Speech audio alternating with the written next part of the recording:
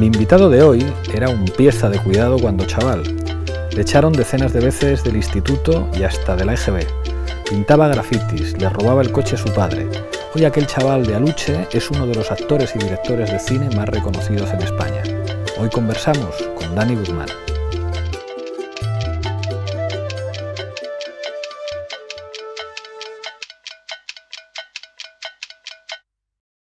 Dani Guzmán, bienvenido. Muchas gracias. A mí me gusta preguntar siempre por la infancia, porque creo que, que, la infancia da mucha información sobre la gente. Tu infancia es aluche, tu infancia es un pantano donde ibas a, a veranear con tus padres en una caravana, tu infancia es poner trampas a los convoys militares de, de tu barrio, tu infancia es hacer el macarra mucho. Eh, háblame de, de ese niño de aluche. Joder, pues llevo unos días pensando que menuda me ha liado con la entrevista, porque este nivel de, in, de, introspección mueve muchas cosas, ¿no? Entonces, y bueno, y por, bueno, y por, por la afinidad que tenemos en muchas cosas y tal, me, me apetecía tener una entrevista muy, muy sincera, ¿no? Y, y, me apetece sobre todo cuando no hay cámaras. ¿Qué pues cámaras? Yo me, no veo ninguna. Por eso, por eso. Me ha revuelto muchas cosas, me ha revuelto el pensar en eso, en, en esa infancia, pues tú lo has dicho, de un niño que, bueno, pues que nace en un barrio que se está desarrollando de, dentro de la urbe, de ese, de ese estilo de vida muy, muy concreto, de padre, eh, de padre que trabajaba en la construcción, de madre que, que trabajaba en unos grandes almacenes. Y claro, echando la vista atrás, pues que han pasado muchas cosas. Y, y yo recuerdo una infancia muy, muy feliz. Soy hijo único, mucho tiempo solo para poder imaginar y para, y para vivir muchas cosas. Me acuerdo mucho de ese pantano donde íbamos con una caravana ahí en medio del campo todos los fines de semana y, todo el, y todos los veranos. Y fue una experiencia, bueno, estuve un, cuatro años viviendo en Argelia cuando hubo unos terremotos que mi padre fue allí a, a reconstruir, bueno, no mi padre, no lo que decir, pertenecía a una empresa y fueron allá a reconstruir parte de ese, de ese suceso que pasó y fue una, una, infancia muy bonita, muy, muy auténtica, muy, muy feliz. Luego vino la separación ya de mis padres y ahí ya ahí se, me marcó mucho en la personalidad. Y ahí pues ya busqué unos lugares, o sea, el lugar de mí, de mí mismo en el, propio, en el propio mundo y ahí digamos que fui una persona bastante inquieta, fui bastante pieza. Y ayer hablaba con, con mi primo porque pues somos casi de la misma generación, y con mis amigos, porque a mí se me olvida mucho lo, todo lo que he hecho anteriormente. No, no, porque, no porque me lo quiera olvidar o porque, me, o, o, o, porque me avergüenza de ello. Yo soy quien soy por lo que he vivido, pero he hecho muchas cosas, algunas más complicadas, otras menos complicadas. Y... Es que a mí es una cosa que me flipa mucho de ti. O sea, no eres el perfil habitual de alguien que termina siendo eh, un actor muy conocido o un director de cine. Mm. O sea, tienes una infancia de chico de barrio, de clase obrera, pero además, hostia, muy pieza. O sea, Mucho. lo de cuando pintabas, que pintabas tifón.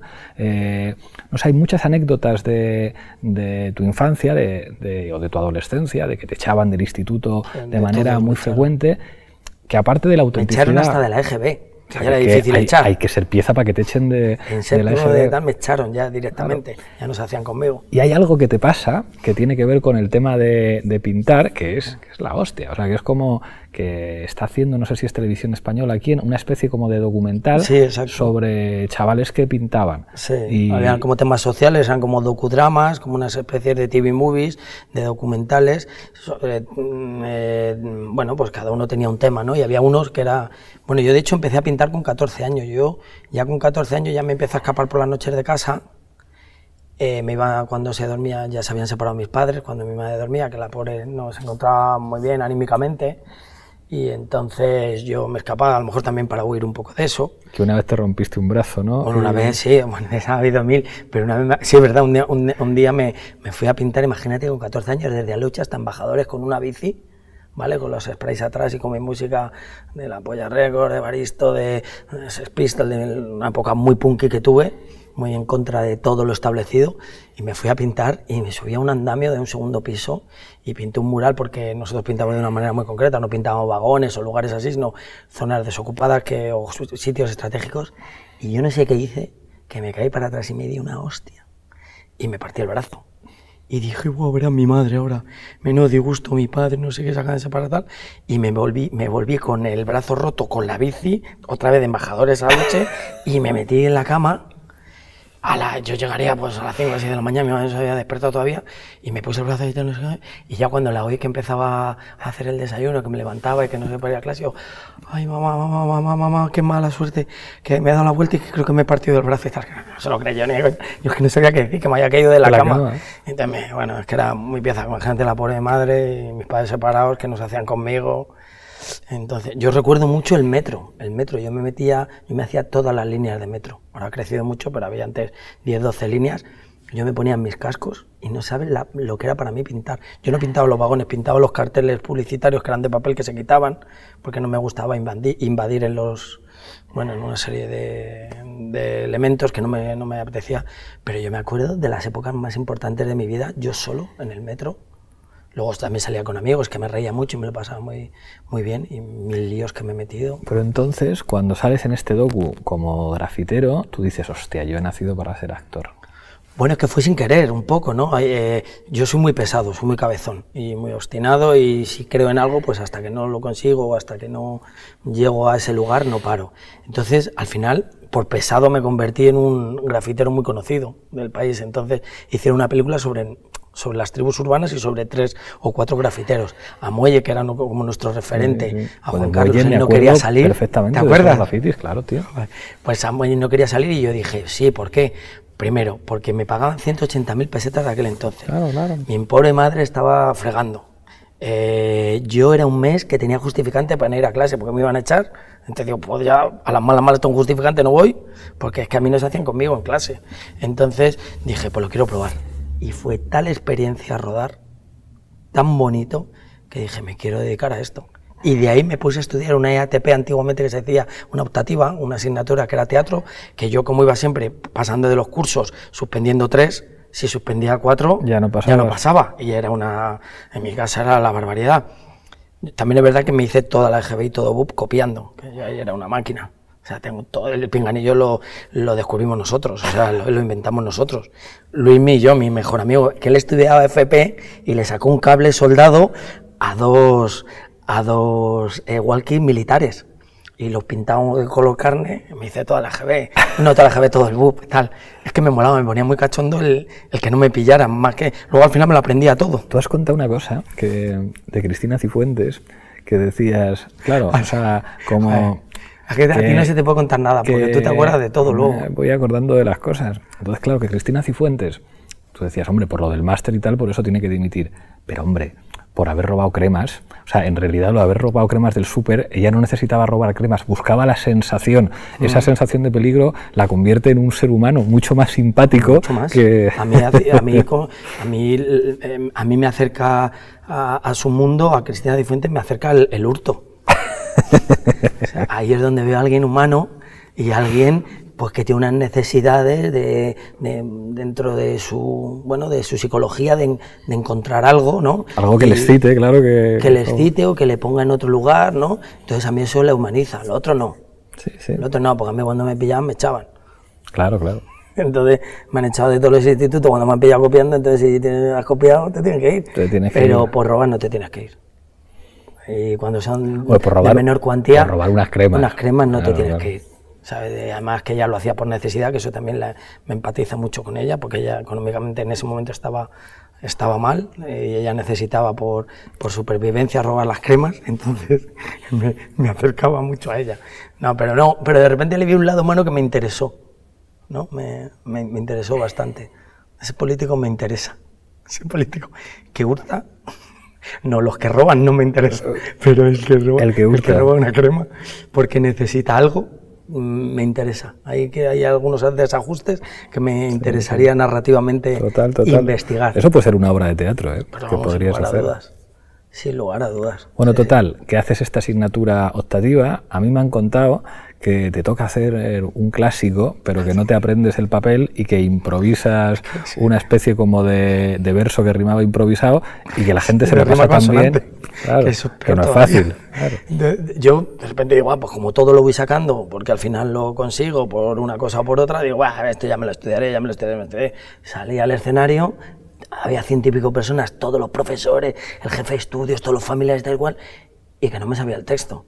Y yo no sé la cara que tuve, que me hice toda la función inventándome el texto y haciendo que rimase. Entonces mi, mi, compañero y mis profesores no, no, se lo creían. Pero fue tal sensación que dije, joder, quiero dedicarme a esto. Y, y, así hice. Me, dije, en cuanto termine COU, me pongo a hacer arte dramático, porque he encontrado lo que, lo que de verdad me motiva y me da ganas de, de vivir, ¿no? de, de hacer algo totalmente diferente y poder jugar, porque tus primeras experiencias como actor son con Fernando León de la Nueva Sirenas y con Colomo, yo creo. Sí, con Colomo. Antes de, luego hablamos de Éxtasis, porque Éxtasis ya es una cosa como más grande. Estas dos primeras, o sea, ¿cómo, cómo vives el decir, hostias, eh, soy actor? con Fernando hablamos mucho, somos muy, muy amigos y yo le admiro mucho y me parece un tipo excepcional y con un talento. Yo siempre digo que a Fernando León le descubrí yo, no me descubrió él a mí porque si no, él no me hubiera cogido para Sirenas, su carrera sería diferente. No podría haber rodado familia, ni los lunes, ni barrio. Siempre estamos hablando de eso. Eh, pues no, con Fernando fue que yo empecé primero en Leighton, que para mí fue mi, mi maestro, y ya en primero vi un casting y me presenté de, de, Fernando. Y me cogió, y a partir de ahí, ahí vino todo rodado. Hice otro casting para Fernando Colomo, también me cogió para protagonizar una, una Movie, que luego fue una película que se llevó al cine, porque a mí me gustó mucho y, y, a partir de ahí fue todo rodado. O sea, empecé a estudiar y no pude terminar tercero, pues luego vino Éxtasis, luego vino tal. Éxtasis, porque claro, o sea, esto es currar con Javier Bardem, que es verdad que entonces Javier Bardem no era lo que es ahora, pero era Javier Bardem, con un apellido que es como ¡poh! Bardem, Federico Lupi, o sea, que es como ¡poh! O sea, ¿cómo es esa experiencia? Pues esa experiencia fue increíble, primero, porque yo venía del, justo de Leighton, estaba terminando. Entonces yo quería llevar el proceso de trabajo de la escuela, ponerlo en pie delante de una cámara, que es muy difícil, casi nunca se hace. Decir, déjame probar, déjame hacer el proceso, déjame investigar y no vayamos al resultado de lugares comunes, de imposturas y de un cine convencional que ya lo hemos visto muchas veces. Pero claro, y Mariano Barroso venía de Leighton también, claro. pero claro, yo era un nivel de frustración todo el rato porque yo quería todo el rato volar y yo le hacía la vida imposible a Javier. Me decía, me decía Javi, decía, Dani, tío, tranquilízate, yo que no, que no, llorando, cortaban, corten, que no, que no, que no, que así no es que, quiero probar otras cosas, que se decían, oye, te quieres tranquilizar, que ya está, que lo tuyo es, no, no es la búsqueda de la excelencia, es una puta patología. Decía, estate tranquilo que hasta hoy, digo que no, que no hemos llegado a vivir lo que hemos vivido, la situación imaginaria que tú no estabas persiguiendo, que no tenías objetivo, oye tío, la urgencia, no sé qué se decía. Que daño os ha hecho el método a los actores, ¿eh? esto aquí entre nosotros.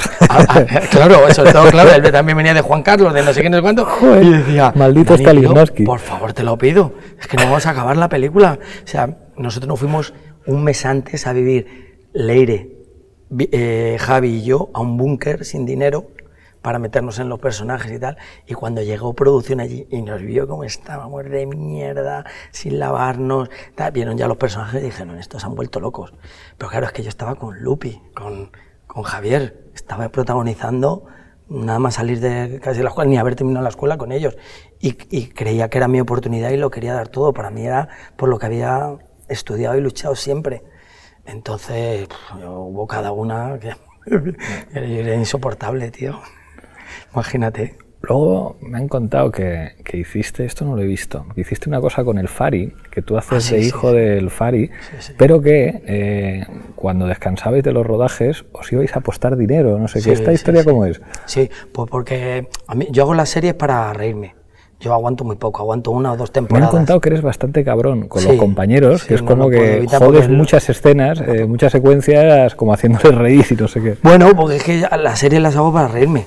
O sea, básicamente, o sea, lo hago porque, porque hay un proceso de trabajo que va muy rápido y se olvida y vas al resultado y, al final te vas a, a, lugares comunes que a mí no me interesan o a coger vicios, pero hay una parte que a mí me gusta mucho y es reírme dentro de las escenas. O sea, esto de que cuando yo me reía con el profesor delante y no podía reírme y estaba llorando de la risa y tal, pues esto pasa muchas veces, ya nos queremos ir todos y a mí me entra el ataque de risa o hago que les entre a los demás y eso me encanta y lo disfruto mucho cuando se cortan las tomas falsas y cuando se corta todo, a eso es lo que me hace, lo que me motiva a ir al día siguiente a trabajar, ¿no? El reírme. Y entonces, pues, pues sí, es verdad, no lo puedo evitar porque pues sí, hago muchas putadas y muchas bromas y, y es que es como el aliciente al trabajo, o sea, pues yo qué sé, ayer, el otro día hablando con Tejero, porque muchas veces me llama para contarme cosas, pues que a mí se me olvidan, y me contó el otro día que, que, yo, que le cogía a la pobre Mapenella, le cogía botellas de, de agua minerales y entonces les, les hacía agujeros al lado de donde ella bebía, ¿no? Y en medio de la toma bebía, se, le, se le caía todo. cortábamos. Y decía, ¿pero qué pasa, Emma? Dice, ay, que estoy muy torpe ya, que se me cae un poco la baba. Perdona, tío, es que, bueno, me, me he reído mucho en las o he metido, ojo, me acuerdo con Edu, el niño, que le metía guindillas en la comida cuando tenía que comer. Yo me llevaba guindillas de mi casa, me llevaba eh, cayenas, las pequeñitas, y a los actores a mi compañero cuando tenían que comer, antes de, venga, retoca, tal, no sé qué, no sé le soltaba la cayena, la guindilla, tal.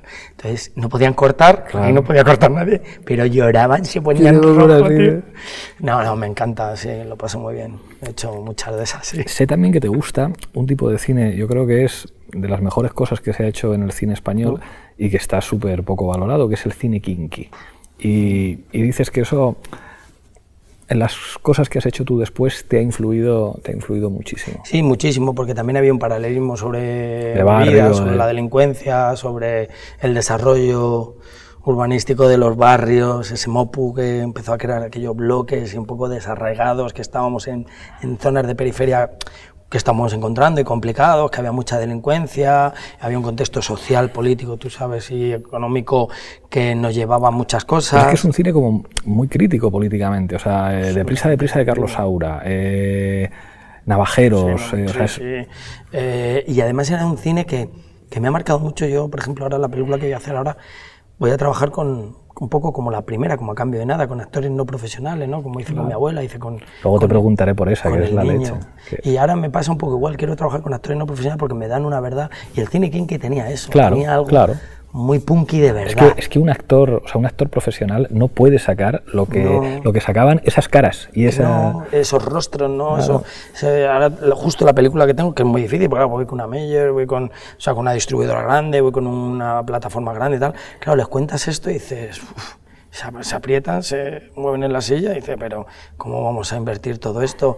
Pues todo eso, una genialidad un fracaso, no sé qué puede quedar entre medias, pero es que ya está inventado el neorrealismo eh, francés, el neorrealismo italiano, el- el- el- la época popular de Berlanga, eh, ¿no? Hay, Total. hay- eso está en nuestra idiosincrasia y, y a mí me gusta mucho. Es una, es una putada para mis compañeros, porque yo quiero trabajar también con mis compañeros, pero hay cosas que no te da un actor profesional, claro, claro.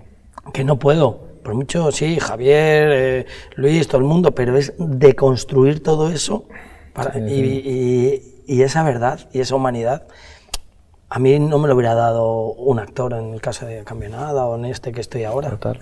Y, y eso también tiene que ver con el cine kinky. Yo tengo ahí una influencia, aparte de por mi barrio, por todo esto, que viví y por mi pasado, que no me voy a decir que fuera que más tal, pero bueno, Sí, mm, sí. tiene que ver con mi vida. Total. Ahora vamos con. A Cambio de Nada, que ahí hay muchas cosas de tu vida, Mm. pero quería acabar con la parte de la tele. O sea, tú vas por la calle y te conoce todo el mundo, no tanto por el cine que has hecho, sino por la televisión Mm. que has hecho. O sea, la televisión es lo que, lo que os hace famosos, Mm. aunque a lo mejor no sea de lo que más orgulloso estás Mm. después. Pero, ¿qué has aprendido tú? eh, porque has hecho un mogollón de tele. Eh, ¿Qué has aprendido haciendo eso? Pues mira, luego lo del peaje de ser conocido a mí me ha lastrado mucho, lo he pasado realmente mal y no, no, no que me quiero quejar, no es que estoy aquí, pero es verdad, o sea, yo ya de pasar de ser alguien con una intimidad y, y con un poder de observación para escribir o para contar personajes a tal, O me lo es algo que dices tengo o me lo cuentas. de- bueno, tú no te Ya no puedes ir en un taxi escuchando lo que dice No, no. el taxista, no No, puedes en entrar a un bar metro. y escuchar a los viejos lo que contaban. No, Eso- eso fue- no, y sobre todo se metro, aprendía yo mucho. necesito el metro, yo voy mucho en el metro, pero no es lo mismo ir aquí que ir en Londres, que ir en Berlín, que ir en no sé cuánto, pues yo soy uno más.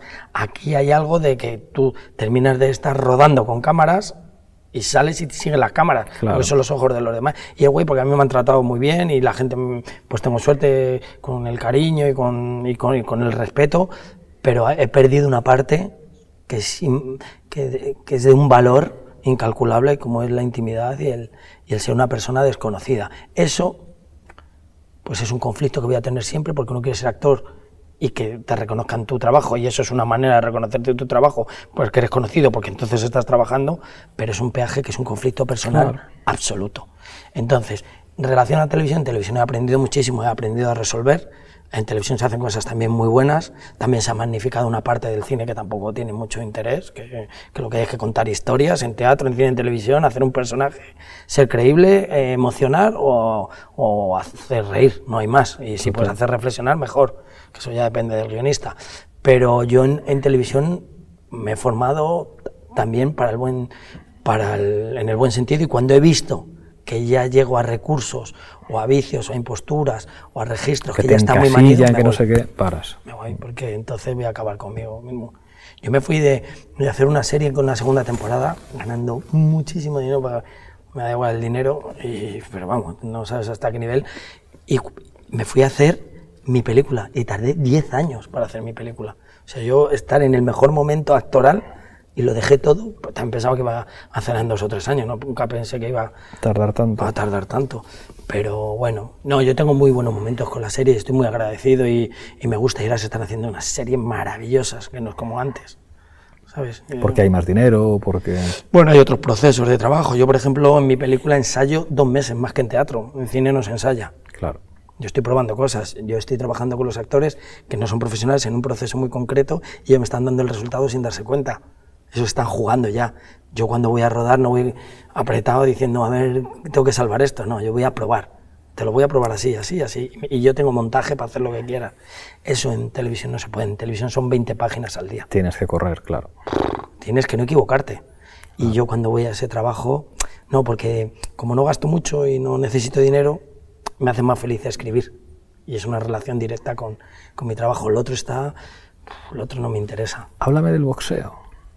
Y es que esto también es una cosa que me sorprende de ti. O sea, no solamente el trabajo actoral, sino que te gustó. O sea, te enamoraste del boxeo y... Sí, sí, de repente, bueno, tenía ahí una disciplina, una relación, eh, primero una disciplina, un deporte con disciplina y tal. Me gusta mucho el fútbol, jugar, no me gusta tanto todo lo que envuelve al fútbol, de hecho me ha saturado, no me gusta ver fútbol, pero me parece un deporte maravilloso para jugar, para crear equipo, para entrenar dos o tres días por semana, jugar los domingos, se crea, bueno, es algo social que mola, el deporte es maravilloso, todo lo que rodea no, y toda mi vida he estado jugando al fútbol, pero también es verdad que el boxeo hay una época de mi vida que me, me apetece entrenar y, me apetece y me parece un deporte dentro de que pueda ser más agresivo menos agresivo de decir como el, rugby es muy noble pero que hay un que cuando se acaba te acabas dando un abrazo y que te mides directamente y que tiene una cuestión de, de estrategia y de una serie de cosas. Y bueno eh, me ayudó mucho a canalizar y entenderme cosas. O sea por ejemplo he corrido en moto no cuando corría en moto iba tranquilo por la calle porque donde corría en el circuito. Claro. Entonces ahí se acaba todo. Cuando boxeaba eh, como deporte, yo no tenía ningún conflicto en la calle. Porque, yo soy muy conflictivo. Soltabas ahí. Porque soltaba todo. Yo no me venías, me insultabas, y no era el tema de la testosterona, y el tema del barrio y el tema de no sé qué y de tal, que acababas desafiando haciendo algo. No, yo, yo era un tío tranquilo. Los boxeadores son tíos muy tranquilos no tiene ningún problema. Los corredores de MotoGP, eh, un día estaba desayunando con Jorge Lorenzo, yo que me, muy estresado y tal, y decía, antes de una carrera, estaban a las 8 de la mañana, y decía, Jorge, tío, ¿no está nervioso? Y dice, ¿por qué? Digo, joder, ahora viene el warm-up, yo había corrido y yo sabía lo que era eh, correr y tal, digo, y luego viene, está jugando aquí el campeonato y tal, dice, no, ahora estoy, ahora estoy desayunando. No, pues esto es un poco igual. Los que se pelean profesionalmente con, con unas reglas y una serie de cosas no van por la calle peleándose. A mí me hizo canalizar cosas muy positivas. Igual que la psicología, por un lado, el deporte me ayudó muchísimo. De hecho, me he dado a todo. O sea, yo necesito, igual que tú necesitas venir aquí para desconectar, como yo salir al escenario, cuando no tengo escenario, necesito entrenar con mis compañeros en el equipo o necesito entrenar en, algo porque es lo único que me puede liberar de todo lo que tengo alrededor. Claro. ¿Sabes? Y el boxeo pues me gustaba. Y bueno, y de hecho me, me, gusta bastante. Un momento que alguna vez peleé y eso y me gustaba. Sueños, antes de hacer a cambio de nada, háblame de... Porque esta es casi casi la primera experiencia en la que tú eres director. Sí. Pues Sueños sale, yo llevo mucho tiempo con, con mucho pudor como guionista, es decir, yo no soy guionista, no me puedo tengo mucho, un cierto complejo, que eso nos pasa mucho también a los españoles, el complejo de hacer las cosas como con los idiomas. Pues tío, suéltate y haz. No quieras hacer la obra maestra, haz una, un corto y disfruta y aprende y ya. Entonces, estuve mucho tiempo hasta que empecé a escribir, pero Sueño me salió, me acuerdo perfectamente, a las, de las 12 de la noche a las 8 de la mañana. Me salió, igual que a cambio de nada me salió 6 años y ahora a la siguiente llevo 5 con el guion, eso me salió en el momento. Quería hacer una historia de amistad, hablando de otras cosas, de, de la religión, de los problemas con la autoridad, de, muchas cosas de lo que habla el corto, pero era un homenaje a, bueno, a mis amigos, a un amigo concretamente que, que había perdido. Y, es una historia de amistad que me salió y que disfruté muchísimo y que me trajo muy buenos resultados y, y, fue lo que me animó a seguir dirigiendo. Oye, Achan, ¿Qué te gustaría ser de mayor? No sé. Ladrón. Qué listo, para nada ni palo. ¿Qué dices, chaval? El curro ladrón muy sacrificado, hay que estar ahí. No digas tonterías, de ladrón te puedes levantar a la hora que te dé la gana, no tienes jefe. Eso porque tú lo digas, chaval. Tú eres tu propio jefe, encima tienes que hacer dos curros a la vez. Uno, buscarte la vida y otro que no te pillen. Como hagas mal uno de los dos, la cagas. No todo el mundo vale. ¿Y tú? Yo nada. Yo no quiero ser mayor. me fue, me fue muy bien. a todos los niveles, así internacionalmente, fue muy... ¿Calculabas tú que a cambio de nada lo fuera a petar como la petó? Porque claro, o sea, siempre se dice, no, esta es una película muy personal. Bueno, esto sí que es una película muy personal. O sea, sale tu casa, sale tu instituto, eh, o sea, es... Mm quizá una de las películas más personales que se ha hecho y normalmente ocurre que cuando una cosa es muy personal, muy personal, pues tiene dificultades como para que, a la gente le entusiasme. Y esto es, es una bomba. Y tu abuela, mm. que es tu abuela, se convierte en, a lo mejor decir la abuela de España es demasiado, pero es como toda España se enamora de esa abuela y mogollón de gente ve a su abuela en, en esa abuela, o sea, ¿habías calculado que esto podía ocurrir? Yo estaba seguro de lo de los niños, de lo de mi abuela, no estaba, o sea, siempre creí en la película, me caí muchas veces, dudé también muchas veces del guion, dudo mucho, siempre hasta el final, pero ahí hay un motor que hasta el final no paro y si lo tengo claro, no sé la repercusión que va a tener. Ahora mismo la siguiente película les digo a todos mis actores, a todos los no profesionales, olvidaos del resultado, vamos a disfrutar del proceso y vamos a pasárnoslo bien. Esta autora dice, esto va a ser un pelotazo, esto no sé qué, más Si eso depende de una distribución, de una fecha de estreno, de un contexto social, depende de muchas cosas, vamos a pasárnoslo bien. Yo en la camioneta sufrí muchísimo, muchísimo, no sé si, o sea, si repetiría solo por lo de mi abuela y por, porque canalicé muchas cosas de mi vida a través de una película. Fue un psicólogo caro, muy caro, 50 euros a la semana, pues al final lo sacas de, cualquier lado y nos ponemos a hablar y ahí saco muchas cosas. Esto fue un psicólogo caro, pero fue maravilloso. Para aprendí muchísimo y no, no calculé eso. O sea, el, respaldo de los compañeros, del público, de la crítica, de los premios y de todo eso. Baja, Luismi. ¿Cómo vas a estar tú solo por ahí? Que yo no necesito a mis viejos, chaval, que puedo vivir solo perfectamente. Pillado un poco justa, ¿no? Estoy tocho. Venga, déjame llevarla, coño. Luego. Joder, siempre luego, pero luego nunca.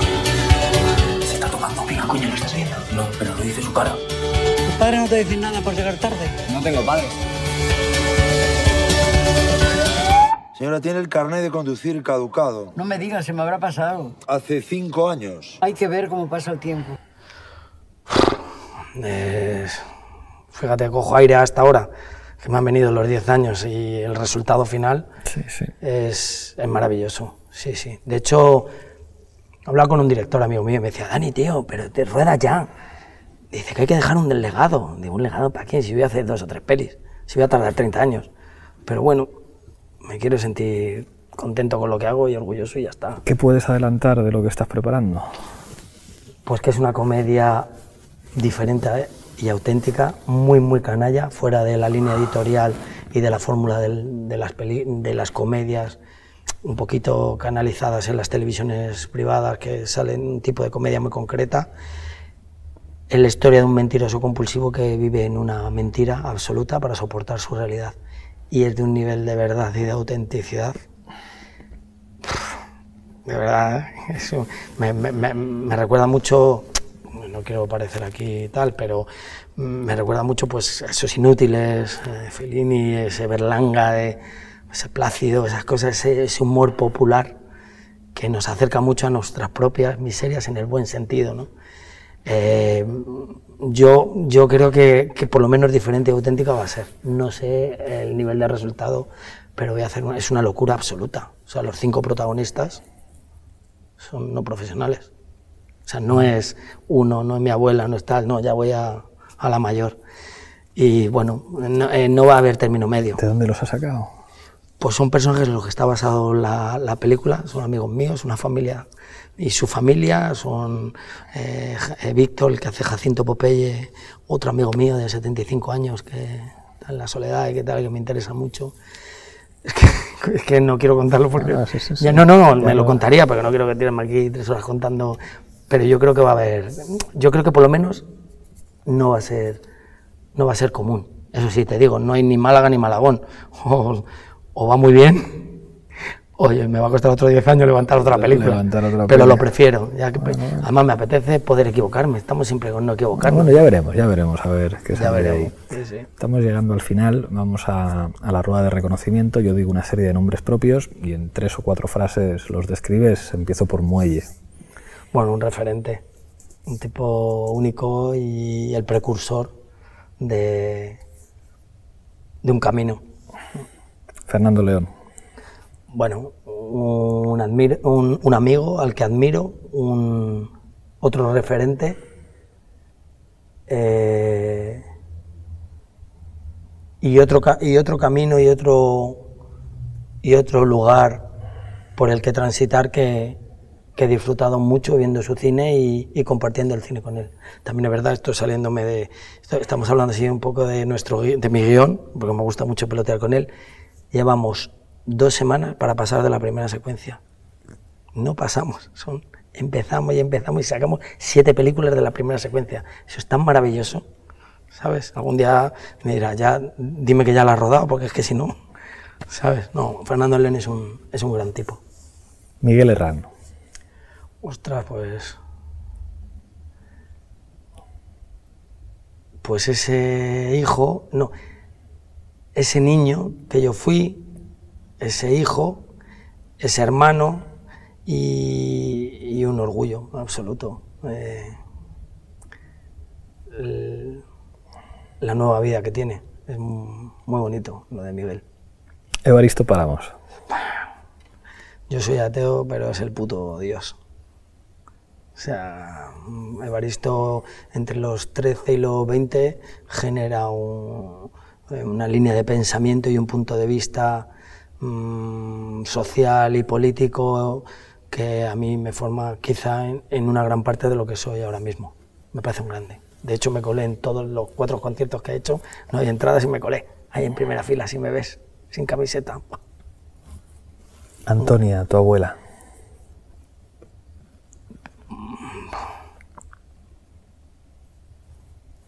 Mm, no sé, no, es, es muy difícil describirla, porque es, eh, sido pues quizá la, la persona más maravillosa que he conocido y mi abuela para mí es todo. Nos queda el cuestionario. Una película que, que recomendarías ver a, a los chavales. O sea, si fueras a un instituto a dar una charla, ¿qué película les dirías? Tenéis que ver esta peli. Pues desde la honestidad y, del- y desde la humildad, si es una, son unos chavales entre los 12 y los 16 años con padres separados o en proceso de separación, a ellos y a los padres, me gustaría que vieran a cambio de nada. Lo, lo he compartido con muchos institutos y con muchos centros de, de menores y los resultados que salen después de la proyección y el coloquio entre padres e hijos. Son buenos. Y eso lo hacen muy bien los franceses. Cuando yo le llevo la película a Francia y es impresionante los coloquios con los chavales desde los 12 a los 16, todo lo que cogen de la película y cómo se lo llevan a su vida. Y sobre todo los padres. Son esponjas. Uf. Y el cine, la herramienta que es. Claro, claro. Qué pena que no lo valoremos. Pero es una herramienta social y educacional a nivel. Aquí no se valora nunca, pero. Totalmente. Eso sí que marca España. Y marca de cada país. Maravilloso. De las últimas series que has visto, ¿cuál recomendarías? Pues solo he visto, por, por- porque casi me obligaste, House of Cards. Yo, ya- Pero tienes que ver series, joder. Ya, ya, pues ya me lo has dicho, si las tengo ya apuntadas. Yo la última serie que te dije que había visto era, pues ya no me acuerdo si era el superhéroe americano, esta, es la de en- Hinckley. en Casa de Herrero, Cuchillo de Palo. Sí, o sí, yo eh, la serie, no sé, pero ¿qué he visto hace poco? Pues hace poco he visto eh, la de Scorsese, eh, que se llama, sobre la música que he visto para una cosa que me habían ofrecido. No, pero he visto más cosas, te lo prometo, que he visto. Espérate, ahora porque me queda en blanco, pero te juro, no te estoy mintiendo. Sí, ¿eh? sí, te creo. Que te- déjame que piense, esperar un momento. ¿Qué he visto últimamente? ¡Ah! No, qué coño. Chernobyl. Muy buena, muy buena. Yo no he visto Juego de Tronos, ya te lo dije, y todavía, todavía no la he podido ver. Y la voy a ver. Pero yo he visto Y Chernobyl además tiene mérito porque, Mérito, eso es una obra maestra. hostia, la hacen en inglés.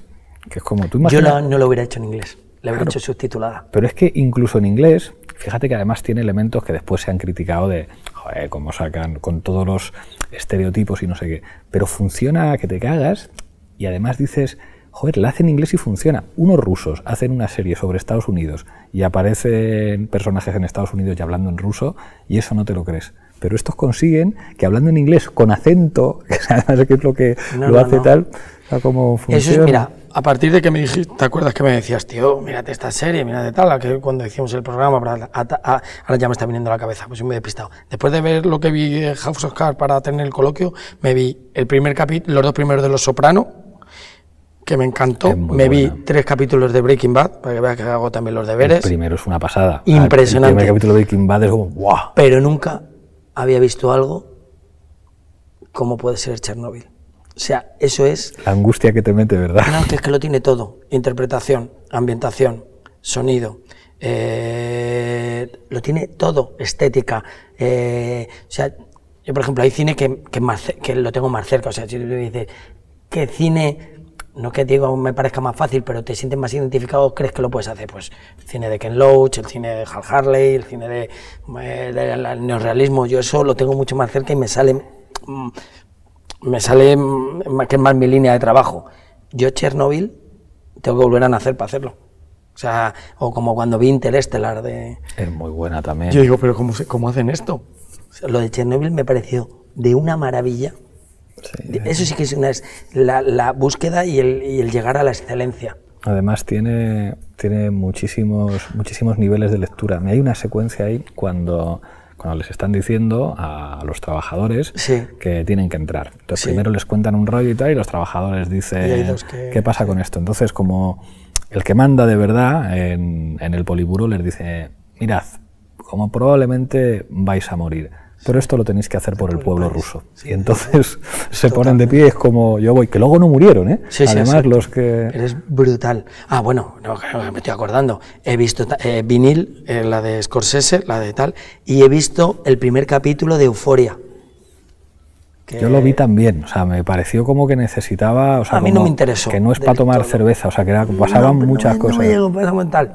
Pero lo de Chernobyl te lo digo ahora mismo. O sea, um, una obra maestra. ¿Sabes? Un libro que recomendarías leer a la gente joven no es fácil porque no mucha gente joven. Ah, a la gente joven. Pues mira, hay un tipo que se llama Vedder, que hizo, que nunca me acuerdo bien del título, hizo, ah, he leído tres libros de que son 0,75 o 2,95, que es un manual sobre la publi, él era un publicitario que dejó todo y es una, es un tiro en la, en el, a nivel de flotación sobre toda la publicidad del mundo. Luego hay otro que se llama eh, El amor dura tres años, que es muy interesante porque habla, es un, rollo Mamet, un rollo Camille, que habla, eh, escribe con frases muy cortas, muy, con mucho subtexto y tal. Y luego hay uno que se llama Windows of the World, que habla sobre las torres, sobre, la, eh, sobre el ataque a las torres y al imperio. Que ese, ese tío me parece muy interesante para una lectura de ya 14, 15 años me parece interesantísimo. Y creo que cualquier Shakespeare que pueda leer se, se van a divertir, porque Shakespeare lo tiene todo, entonces es demasiado parece ser. O un Quijote, ¿no? Por ejemplo. Totalmente. ¿No? Un Quijote es maravilloso para leer. O sea, yo lo, lo volví a, leer. A mí me obligaron a leer el Quijote en segundo de UP y me costó. Pero luego en el verano de 2018 lo volví a leer y había momentos en los que me sorprendía yo a mí mismo con la carcajada.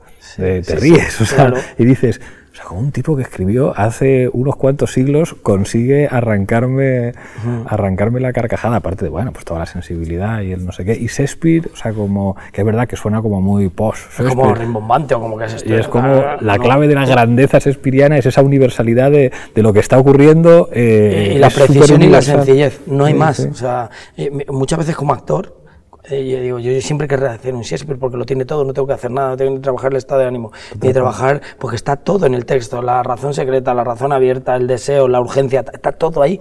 Yo mm, con Strasberg alguna vez que eh, me he formado con él, me formé con Leighton y a veces con Strasberg, algún Hamlet que he hecho con él o algunas cosas tal, y decía, pero ¿por qué tanto pudor y tanto complejo hagamos que estos autores o este autor es para hacer, no para, para tenerle tanto respeto, porque te lo da todo es que es el mejor material para hacer un buen guiso. Ponte ya a hacer. ¿no? Shakespeare es un, bueno, no empezar con cosas así complicadas, pero pues con el sueño de una noche de verano. Sí, sí, sí, es que mola. O sea, es como a base, son sentimientos que cualquiera puede, sí. puede entender. Me queda ya la pregunta tétrica, que es la que hago últimamente, pero esto en el futuro va a dar mucho juego. Me interesa. Estoy preguntando a, a todos los invitados que vienen qué canción les gustaría que sonara cuando murieran y que escucharan sus amigos. Claro, esto se va quedando guarda y como todos la vamos a terminar diñando, esto va a adquirir como, como valor. A ti, dentro de muchísimos años, cuando, cuando mueras, ¿qué canción te gustaría dejar dicho que escuchara la gente que te quiere? Carne para picadora. Toma ya, toma ya. Por ejemplo. Pues ya. No sé por qué me ha venido. Me encanta. Solo me queda darte esta taza Ah, eh, antes en la tuerca dábamos la taza de la tuerca, pero ahora cada programa y para cada invitado tenemos una taza nueva y esto es, esto es un Guernica. Así que te voy a pedir que mirando esa cámara brindes por lo que quieras. Bueno, pues lo primero, muchísimas gracias. Y además que me hace mucha ilusión las tazas porque comparto muchos tés, me gusta el té negro y en la escritura las tazas tienen una relación emocional que me hace mucha ilusión. ¿no? Las tazas y los bolis siempre regálame con un tipo de tacto y un tipo de punta y un tipo de cosas que, siempre me va a hacer ilusión y esto me hace mucha, eh, mucha, mucha ilusión. Entonces, pues nada, pues, pues brindo por porque tengamos más sentido común y en la medida de, la de las posibilidades ser, ser más ecuánimes, solo eso. Muchísimas gracias.